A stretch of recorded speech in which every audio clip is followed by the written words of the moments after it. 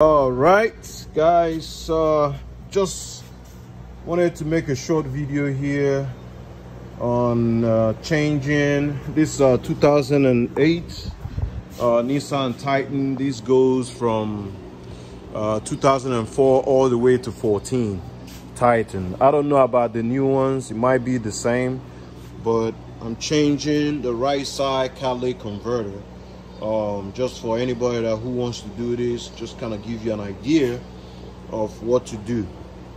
Uh, already got it taken out as you can see.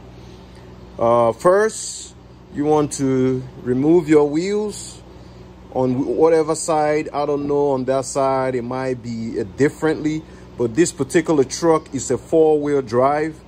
Um, it's a bit more things to it than a two-wheel drive it might be a little bit easier on a two-wheel drive but this is a four-wheel drive and I still was able to fairly easily get it out. So I took this black cover off and then I went down under here as you can see. I took this meat pipe. This is the second catalytic converter for the left side. As you can see I took that meat pipe off first so I can kind of give space for uh, the main catalytic converter.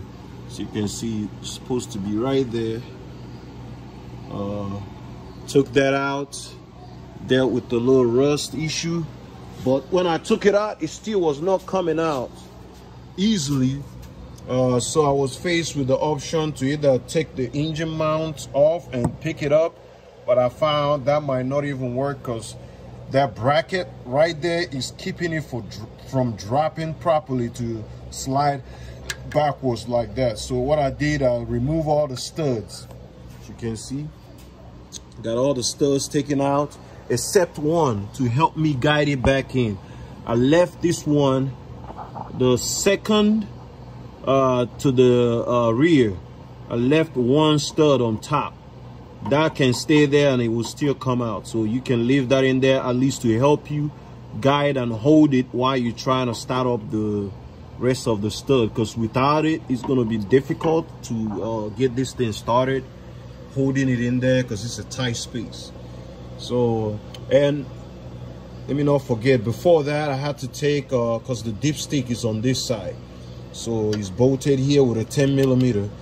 You take that 10 millimeter off you walk the dipstick off and then you'll be able to get your exhaust out. And go back the same way with a new gasket and everything.